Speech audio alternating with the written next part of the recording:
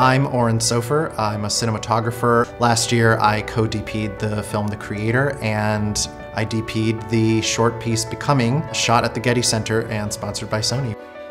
The goal was to make a short film that not only highlighted the Sony Venice 2's image quality and performance of the camera, but also to make a piece of art.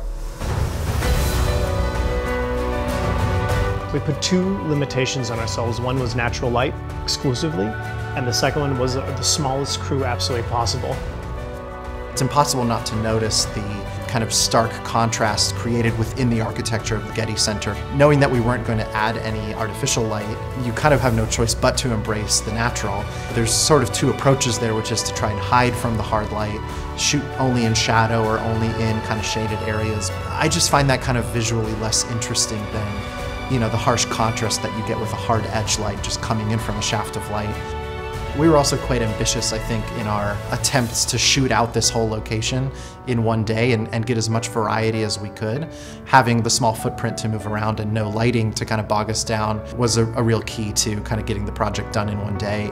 The more time you have to actually shoot on set, the more options you get, the more opportunities you get to refine a move or a certain shot, and the more variety we get in the final piece.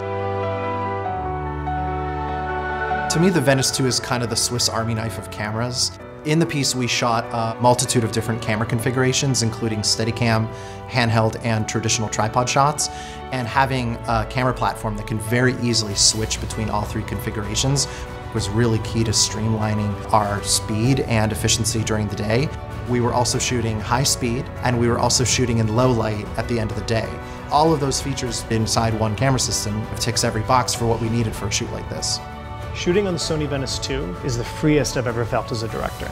We knew because of the breadth of the sensor that once we got into DI, we could dial the image into where we wanted it to be. So that gave us total freedom.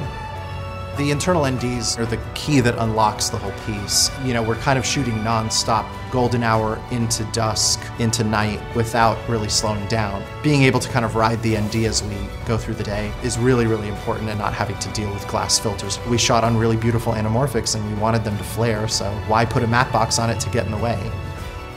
We also then switched to the 3200 ISO base during our night sequences and seamlessly transitioned from our blue hour into night at the push of a button. Again, having a camera platform that is able to just address all of these technical needs.